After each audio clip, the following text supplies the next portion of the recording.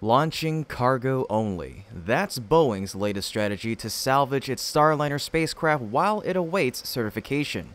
A major setback for the vehicle built by an organization famously touted for its safety standards that SpaceX must also adhere to. So, can Boeing's Starliner survive with this new approach? Is this a sign it may never carry astronauts again? Should NASA consider dropping this vehicle from its contract, and how has Elon Musk responded?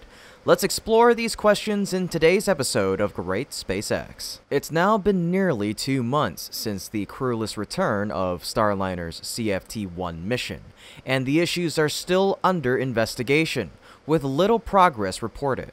This uncertainty is echoed in NASA's recent crew mission updates for next year, leaving Starliner's future schedule in limbo. The reason is clear Starliner still hasn't achieved crew launch certification. But while the launch timeline remains unclear, one thing is certain the losses continue to mount. Years of delays due to testing issues, pre launch setbacks, post launch complications, and now yet another delay for inspections have all contributed to a staggering financial toll. In the second quarter alone, Boeing reported a 125 million US dollar loss from pre-flight delays, bringing total losses from Starliner to a shocking $1.85 billion.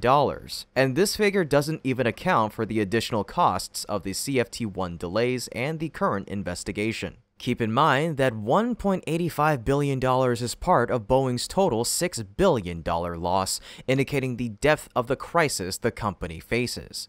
With all systems facing challenges, Starliner appears to have no straightforward path to resolution. In response, Boeing has put forth a last resort strategy to keep the project afloat. The company is considering a Starliner cargo mission to the ISS, a shift to cargo only flights to generate revenue while the spacecraft awaits crew certification. Yes, you heard that right.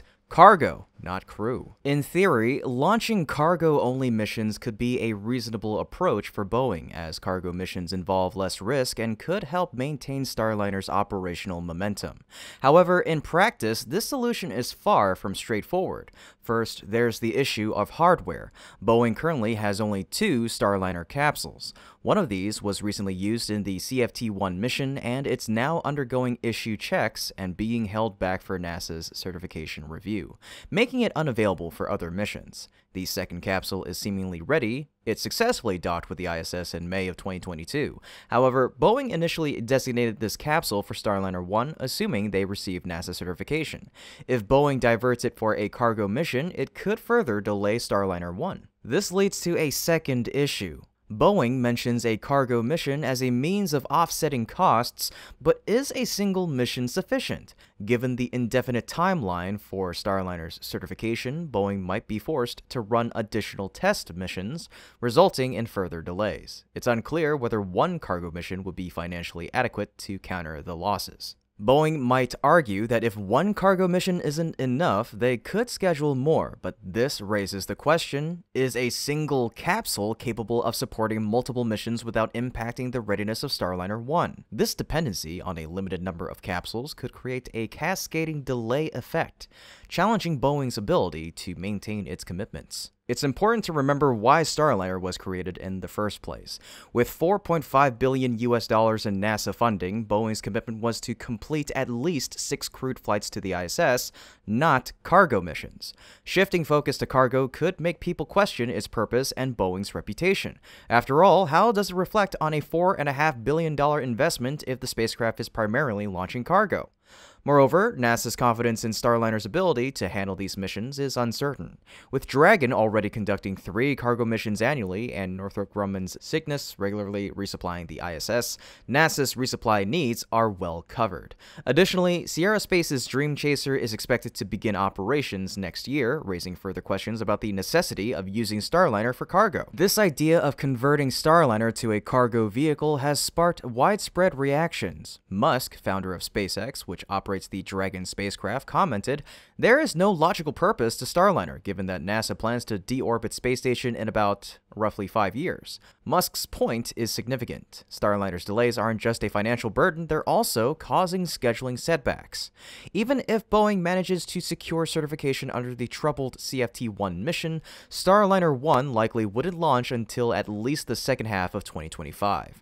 From there, Boeing would have a mere five years to complete the remaining five missions, a challenging prospect. And that's assuming Starliner 1 can even launch on time, which remains uncertain. With the dubious timeline, Boeing's proposal to convert Starliner to a cargo vehicle raises serious doubts about its ability to fulfill crewed missions within the ISS's remaining operational years. Musk's criticism of Starliner's purpose seems increasingly valid. Adding to the skepticism, Boeing has openly stated it will not engage in any more fixed price contracts, a move that implies an acknowledgement of their struggles. Recent reports even suggest that Boeing might be considering selling Starliner altogether. If true, this would likely be the most disappointing outcome. As it suggests, Boeing's motivation to launch cargo is merely to keep Starliner functional, not to meet NASA's needs. Given this scenario, some might argue NASA should recover the 4.5 billion it invested in the project. As for potential buyers, some speculate that Blue Origin could step in, as they currently lack an orbital capsule. This pairing might make sense for Blue Origin, but it raises questions about Starliner's ultimate value and purpose. Regardless of what lies ahead, Starliner's journey has been fraught with setbacks. Its mission seems increasingly misaligned, its roadmap flawed, and its potential limited. Rather than prolonging the project, why not consider cancellation? If you agree, respond with cancel it in the comments section down below. Don't forget to like, share the video, and subscribe to our channel for more updates on SpaceX's development journey. With Boeing's Starliner facing ongoing challenges, it seems likely that SpaceX's Dragon will continue to serve as NASA's reliable partner for the ISS's remaining years. Unlike Starliner, Dragon has consistently demonstrated its capabilities, completing 10 successful crew missions, including a demo flight and maintaining a flawless track record. In fact, SpaceX's Dragon will play a critical role in the upcoming Crew 9 mission, which is set to bring home two astronauts who were originally meant to return on Starliner. This highlights Dragon's reliability and importance in compensating for the setbacks caused by Boeing's spacecraft.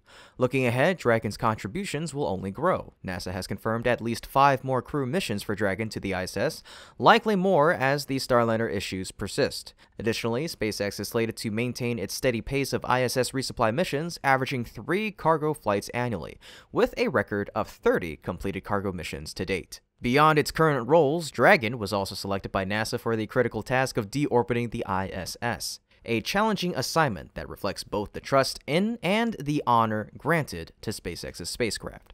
As we transition into the post ISS era, Dragon's involvement will extend even further, with anticipated roles in supporting new commercial space stations like VAST, Axiom, and Starlab. These stations will likely rely on SpaceX for launches and Dragon for crew and cargo operations, reinforcing its position as a central figure in the next chapter of human spaceflight. NASA's goal of competition in crewed spaceflight has faced significant setbacks, largely due to the ongoing issues with Boeing's Starliner.